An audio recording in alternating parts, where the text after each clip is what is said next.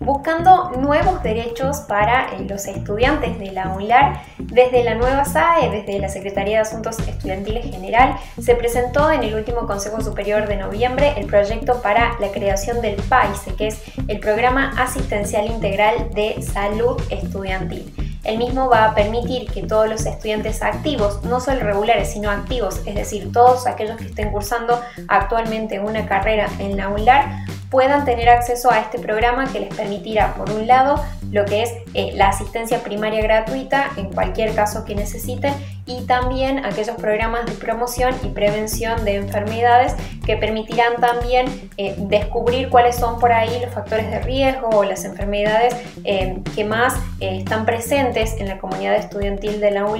y en torno a ello poder establecer políticas de salud que permitan mejorar y brindarle bienestar a todos, por supuesto. Este programa también busca trabajar con lo que es la extensión, la investigación, el generar otro tipo de actividades, el prevenir, el generar conciencia y por eso es tan importante que eh, se pueda trabajar. Por el momento, como dijimos, está eh, como proyecto presentado al Consejo Superior, pero por supuesto lo que se espera es que pronto ya pueda ser una realidad entre todos los estudiantes de la.